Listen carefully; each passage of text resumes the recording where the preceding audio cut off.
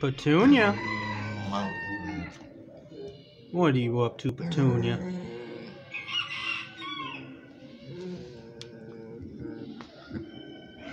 Smell my hand. Yeah, you remember. You remember me. Isn't that right, Petunia? Look at that Petunia. Yeah. She's an old piggy.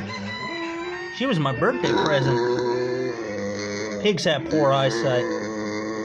So, you gotta let them smell you.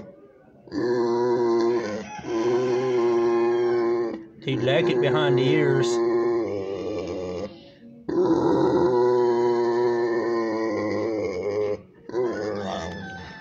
She's always cranky in the morning.